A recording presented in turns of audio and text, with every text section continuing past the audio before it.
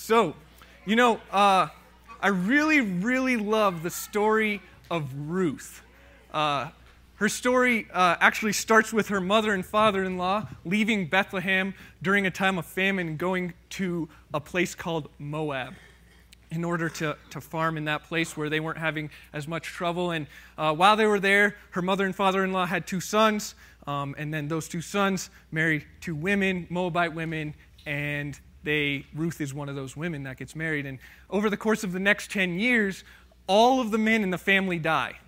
And this is kind of a significant problem because back in those days, your worth as a woman was kind of garnered on if you had a man in your life. So uh, this is essentially a, a, a, a, social death sentence to these women. And so Naomi, the mother in law, says to Ruth and her sister in law, Hey, you guys should go back to Moab, find, find you guys some nice young men, and I'm going to go back to Bethlehem and yeah, we should just part ways. And both of them protest. They say, no, we're not doing that. And then she says it again. You guys, you really need to do that. And so what the sister-in-law leaves, but Ruth says to Naomi, Naomi, I'm staying with you.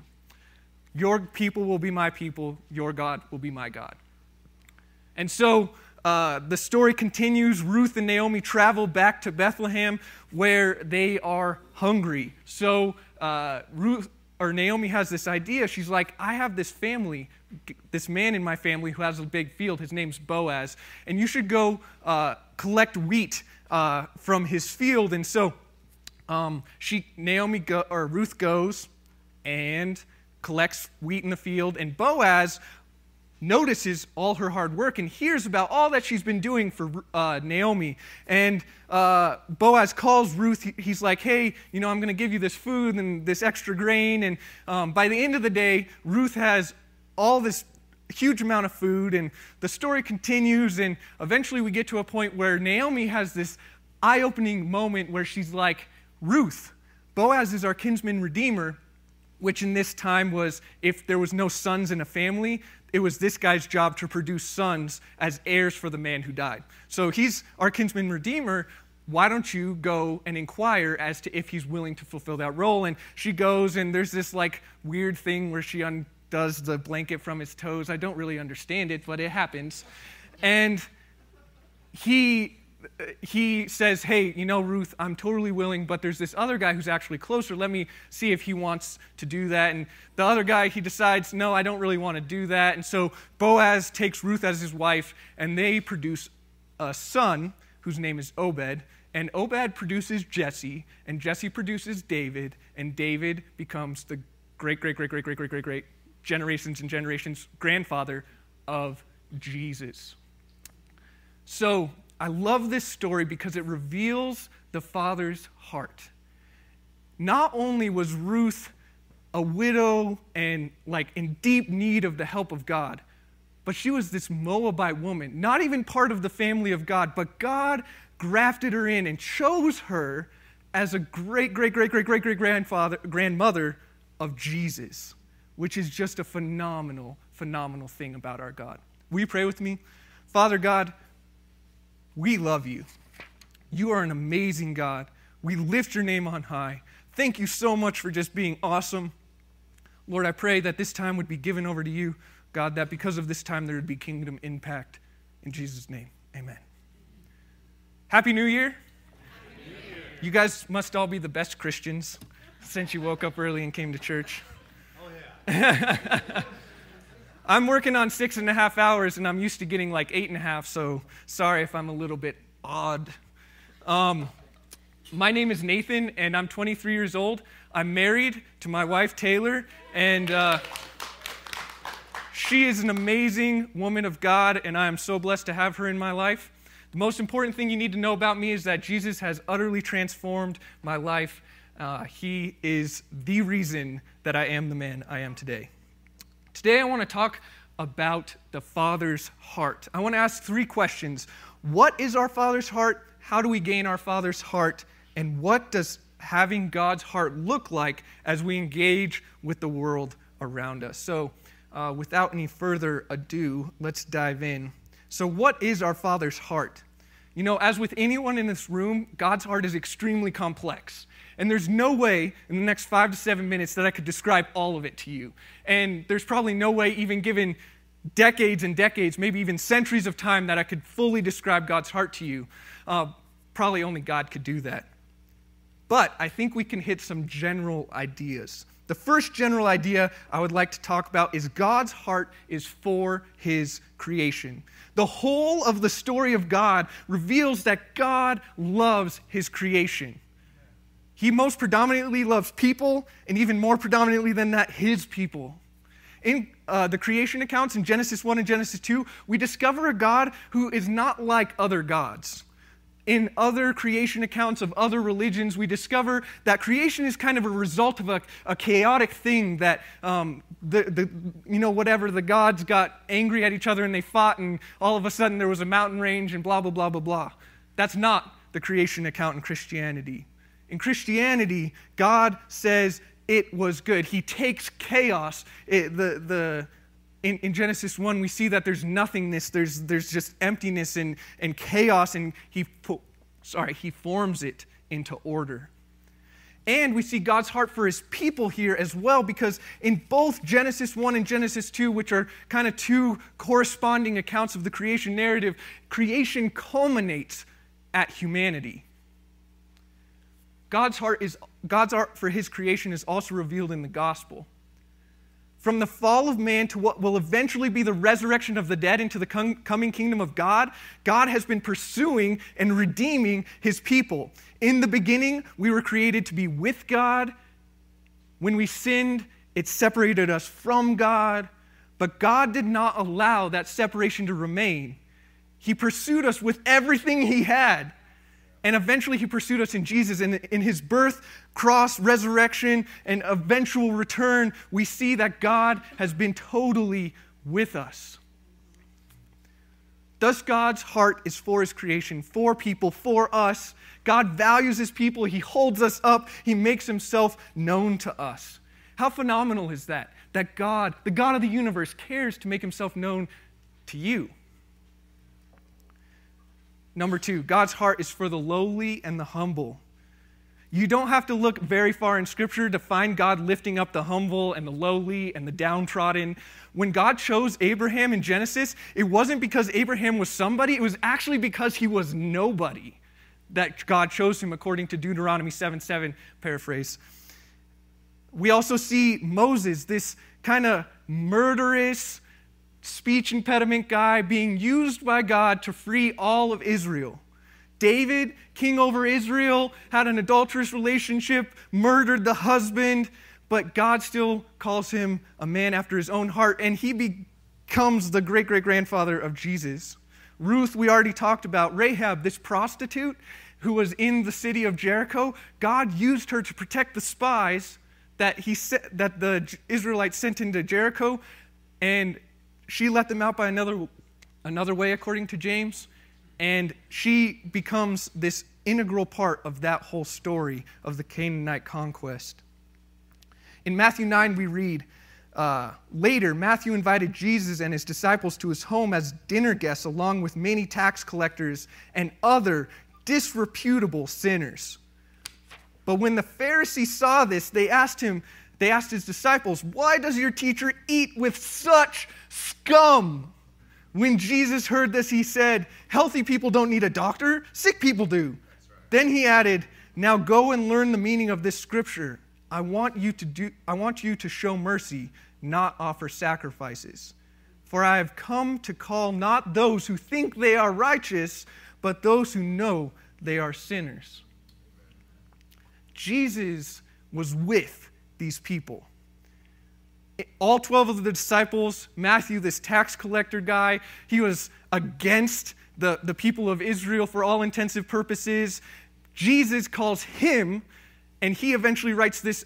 Oh, this is phenomenal. He eventually writes Matthew, right? And Matthew is this uniquely Jewish form of the gospel. So, Matthew, a traitor to his people, the Jews, wrote the bridge of the, the gospel bridge that works the best with Jews.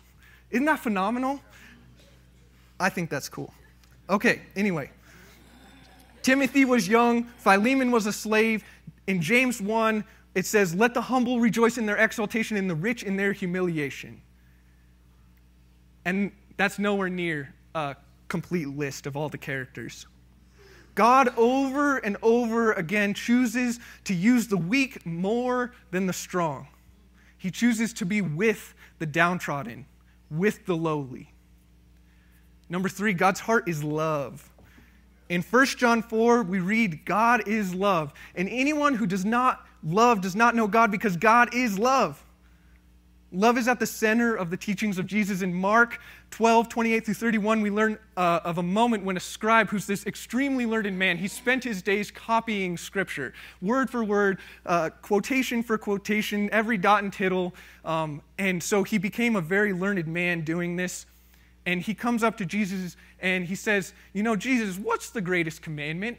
And Jesus, quoting to him out of the Old Testament, out of Deuteronomy chapter 6, the great Shema, Love the Lord your God with all your heart, with all your soul, with all your mind, with all your strength. And he adds, love your neighbor as yourself. Jesus even goes beyond that.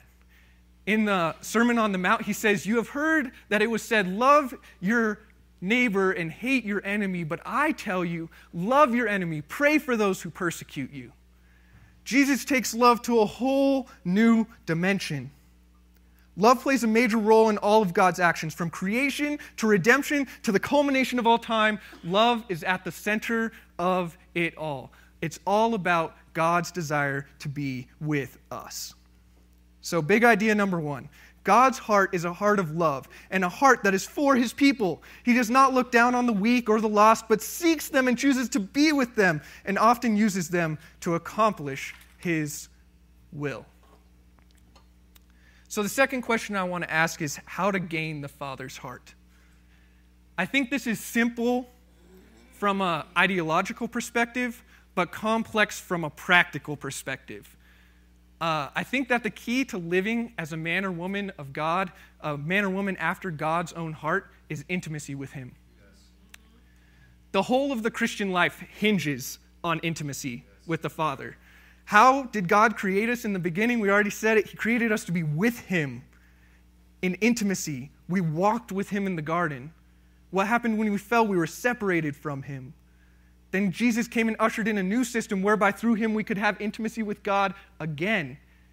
And when the end does come, this is beautiful picture. When the end does come in Revelation, we read that the, there will be a new heavens and the new earth, and God is going to bring his, his kingdom to earth and declare God is making his dwelling place with man. It's, an, it's excellent. It's amazing. God is bringing what, what began in the garden, in the Garden of Eden, that's this beautiful picture of, of God and us together, will culminate in the end, in the new kingdom, in the, in the new heavens and the new earth, with God and us together again perfectly. In Galatians uh, 6, 7 through 8, it reads Do not be deceived. God is not mocked. For whatever one sows, that will he also reap. For the one who sows to his own, sows to his own flesh will from the flesh reap corruption, but the one who sows in the Spirit will from the Spirit reap eternal life. When we invest in the flesh, our actions are fleshly our actions are going to be sinful. When you put in America's Got Talent, you're going to get out America's Got Talent. When you put in Jesus, you're going to get out Jesus. When you put in the Word of God, you're going to get out the Word of God. What you sow into your, bo- into your spirit, you're also going to reap out of it. In Galatians 5 19 through 23, we're given a list to know whether or not we're walking in the Spirit or walking in the flesh. Here's what it says When you follow the desires of your sinful nature, the results are very clear sexual immorality, impurity, lustful pleasures, idolatry, sorcery, hostility, quarreling, jealousy, outbursts of anger, selfish ambition, dissension, division, envy, drunkenness, wild parties, and other sins like these. Let me tell you again, as I have before, that anyone living that sort of life will not inherit the kingdom of God.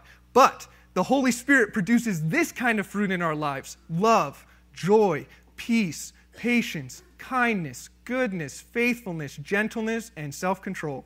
There is no law against these things. So, gaining the Father's heart comes down to investing in Him. When we, it comes down to sowing Him into our lives. Some really high quality ways to do this, I think pray, read your Bible, spend quiet time alone with God, go to church, be obedient when He leads you to be obedient, be worshipful in your life. You know, whenever I give a list like this, I'm always a little bit wary because our culture loves to check things off of a list. It's like, guys, the pastor said that I should read my Bible. So I'm going to just go, you know, open the Bible, read some stuff, and check that off the list. I don't think that that's the heart that God desires we go into this with. Uh, when I was uh, doing premarital counseling with Taylor, uh, I had this attitude like, okay, so as part of premarital counseling, we got homework, and uh, I really, really, really just wanted to get the homework done. I just wanted to accomplish the task of getting the homework done. I didn't really care about the process. But Taylor was like, Nathan, we need to invest in this. We need to have time in this. And I'm so thankful that she did because we would not have gotten one tenth of what we got out of premarital counseling if it hadn't been for her insisting that we spend time on it. It's not just a task, it's something that we're investing in for the good of our marriage. You know, uh, when I was in my second year of college, I experienced intimacy with God for the very first time in my whole life, and it was amazing. Uh, I uh, remember getting up from my desk one night, walking over to my closet, sitting down in my closet, and just praying this simple prayer You know, Lord, I don't have any idea how to be close to you, how to be intimate with you. I don't have any idea how to pray. Will you teach me? And God did. And over the course of the next three months, he brought me deeper and deeper into intimacy with him. And I was seeing crazy things happen. God put this deep, deep, deep hunger in me for him. It was like, you know how people like dread reading their Bible? It was like, man, I can't wait to spend some time with Jesus. Like, and I'm not even exaggerating, like, I really felt that way. Um, and uh, anyway, sorry.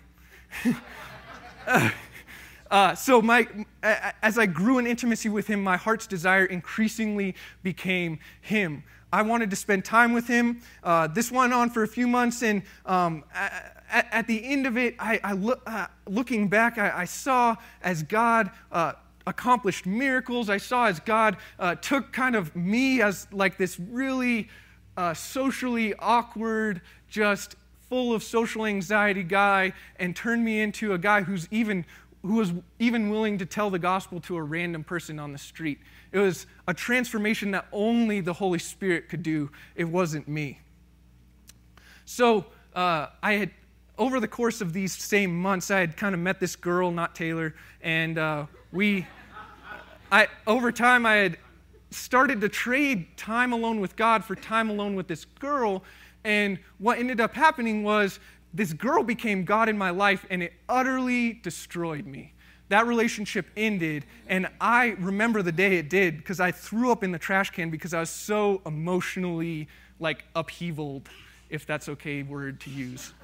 Um, I was brokenhearted. I was just broken, broken, and uh, I was like, well, I should probably go back to God. And so I went into my prayer closet, but it was different. And for a year, I languished before the Lord, wondering wondering, God, what, what are you doing here? Like, what, what's going on? And God, a year later, not because He was keeping me from hearing, but probably because I wasn't listening, uh, a year later, He kind of reached in my life and He said, You know, Nathan, when all of this started at the very beginning, when we first experienced intimacy with each other, your goal was me. Your desire was me. You were trying to seek me. And ever since the relationship with that girl ended, you have stopped seeking me and started seeking everything that it felt like. You started seeking the miracles and you started seeking the emotions and you started seeking all of that and you forgot your first love. It was eye opening to me. And in that moment, in that same moment, God asked me this question. He's like, Do you really want me? Do you really want Jesus? And that question has become the cornerstone of my relationship with Jesus. The cornerstone of my relationship with Jesus. Because when I'm deciding whether or not to watch America's Got Talent or spend some time alone with the Lord, I remember that question Nathan, do you really want me?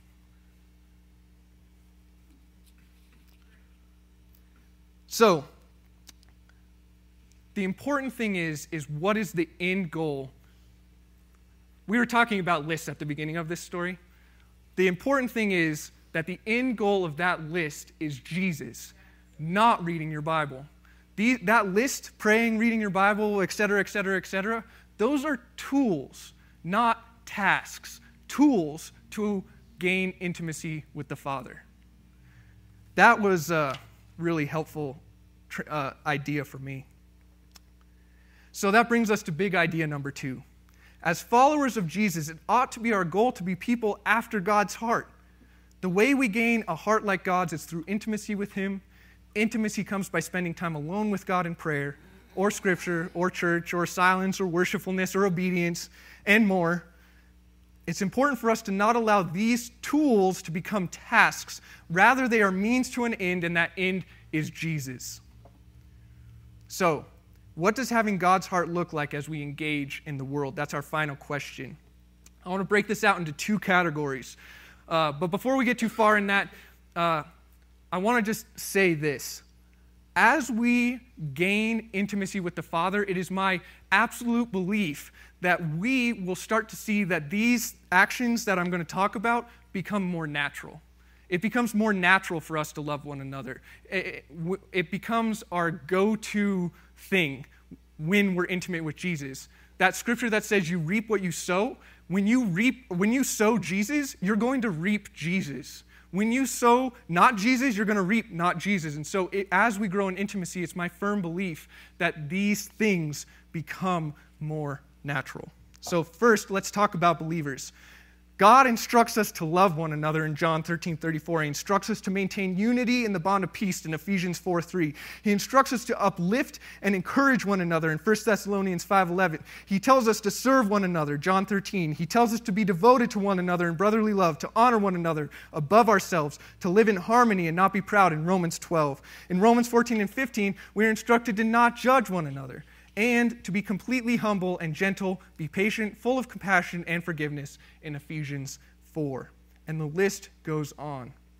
If we are seeking to be men and women with the Father's heart, then we must, must, must be loving and honoring to one another. There is no room for pride, harsh judgment, contempt, or division. God's word is extremely clear. So, you know, I think that this church has a couple of people who are really, really good at loving one another in the church. And those of you who have been blessed to have a conversation with one of them know exactly who I'm talking about. They're the people who, uh, when they see you, you know that you've been seen. When they ask you, How are you doing? they actually mean, How are you really doing? They take time to listen to you. These people are a gift to our congregation. And I think we ought to strive to be like they are, honest. Well, we should strive to be like Jesus is, but they're a really good representation of how Jesus is. In John 13, it says, They will know you by your love for one another. In this, we can usher in the Father's heart we can usher the Father's heart into our church, into our congregation, into our families by being authentic, but full of love, not gossiping, full of compassion, not harsh judgment, but loving correction. I also want to talk about how this deals with unbelievers. Our Father has a deep, deep heart for those who do not know Him. He stands as the father of the prodigal son, watching and waiting for unbelievers to return to him. And when he sees them coming at them, he runs and embraces them. And if we love God, it is our duty to love non believers also. You know, this year I've sat in these chairs, these same chairs as you, and listened to sermons on Sunday mornings. And uh, I hear the call again and again go, go, go, go. Go preach the gospel to your friends. Go preach the gospel to your neighbors. Go tell your family. Go tell, go tell everybody you can. We have heard it so many times this year. So many times this year. So I don't need to tell you again to go. But I also know and, you know, I, I think that there are a lot of us in this room who have spent this time doing that. We've spent 2016 being lives on purpose for Jesus, that we have gone and shared the gospel with our neighbors, that we have gone and, and, and you know, whatever. We've, we've shared the gospel with our family. We have gone. But I also know that there are a lot of us sitting in these chairs today, me included on some occasions, who have been disobedient to the prompting of the Holy Spirit, and we have not done that. I'm sitting in both camps. This last year, you know, I had this opportunity to participate because of the way that my job evolved this year. I had an opportunity to participate in a lot of conferences and a lot of trainings. And uh, one of the trainings that I went to was put on by the Covenant denomination. And uh, I went to this thing, it was called like the annual ministry celebration. Um, and I went and sat in on a seminar that was about church planting, and I didn't really particularly think that I would ever be a church planter, more that I just didn't want to listen to whatever was going on in the other seminar. And it proved to be a, a good choice. Um, as I was sitting, I was listening to various pastors as they talked about their church plants, and one of them, a pastor and his wife from, uh, or a pastor and a pastor wife, like they're both pastors, uh, from Fort Collins, they said, you know, in our church plant, we're really trying to transition what we consider to be evangelism. We're trying to redefine that. And then they used this word. They said, we think that the evangelism in our country has been become very conversion centric. So people have become obsessed in evangelism with getting that person to believe what I think. It's all about the conversion. And they said, the gospel is not conversion centric, it's Christocentric, it's Jesus centric. And I just about wanted to leap out of my chair and yell, Amen. It was so, it's so true, so real, so act, it is very accurate. So I think that, you know, many of us, when we hear this word evangelism, we, we think about the Denny's waitress and we say, man, it is my job to convert that lady to Christianity.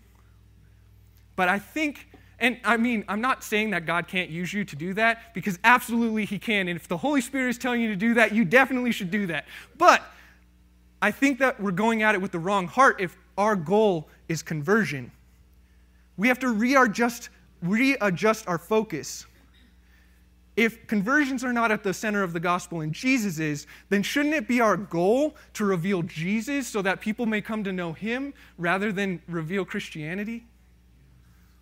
In 1 Corinthians 3, Paul tells the believers in Corinth that God is the one who grows the seeds of the Word of God that are planted by people. It is God who, that's paraphrase, sorry. It is God who saves people. It is God who calls them to ourselves. Our job is to reveal Jesus so that they might come to know Jesus and tell the truth.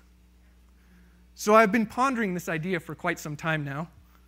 And uh, I came upon this idea at, during a time of quiet kind of prayer and stuff. And uh, I think it's going to really help me to be healthier, excuse me, evangelistically.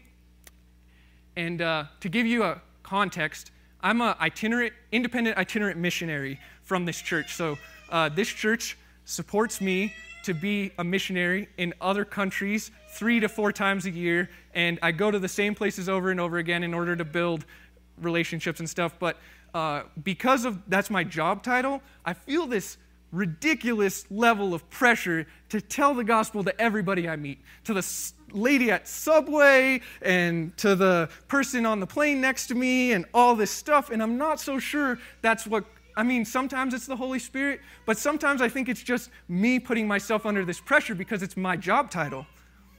And so I, I, I kind of formulated this word or I think the Holy Spirit maybe. Uh, the word is intentionality. I think instead of walking out of church today feeling like, boy, oh boy, I need to go convert some people to Christianity, that we ought to be walking out of here thinking, I need to be more intentional about revealing Jesus to those around me in what I say and in what I do so that they may come to know him. Now, if the Holy Spirit is knocking on your heart, like I said, to preach the gospel to that lady at Denny's, you better do it. But, um, uh, yeah, I'm not saying that's bad or wrong. Rather, I think that there are many of us in here who are so intimidated to share the word of God, to share the gospel, and we feel this pressure that if we don't, if we do share the gospel and they don't convert, then we're somehow a failure, that we end up doing nothing at all. And I think that is unacceptable. I think that God frowns on that. So, here's what I was thinking we make a commitment to one another to be intentional about revealing Christ to those around us in what we do and in what we say. One of us plants, another of us waters, God brings the growth. So I think it's still kind of heady at this point. So here's some examples. Next time you go out to eat at a sit down restaurant, be like Jesus was with Zacchaeus. Make eye contact with the waiter, use their name when speaking to them, and saying thank you. Give them encouraging words. We're not inventing stuff here. It's just what Jesus did already.